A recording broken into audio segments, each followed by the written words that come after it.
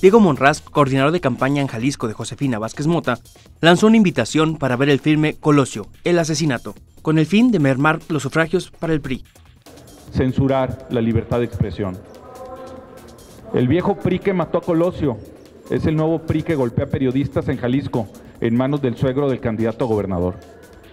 El viejo y puerco PRI que mató a su propio candidato es el viejo y puerco PRI que hoy hace negocios con el dinero de la gente.